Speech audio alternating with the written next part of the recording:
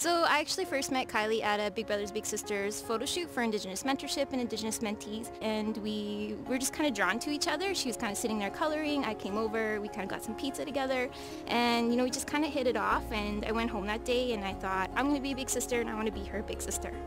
Hi, my name is Kiley. I love Dana because she's so nice. She makes me feel good and she's always kind. She really is kind of part of the family and she's a big part of my life. I try to teach her to be confident, to be empowered, to be proud of who she is and I think it's a very like mutual relationship. She's teaching me just as much as I'm teaching her. Think that it's really important that she has a positive influence from, from an Indigenous mentor especially.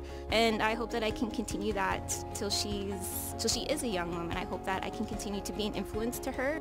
There's volunteer options for your lifestyle. So there are kind of different options. You could be as involved as little or as much as you want. Volunteer to be a big brother or big sister today. Imagine who they will become because of you.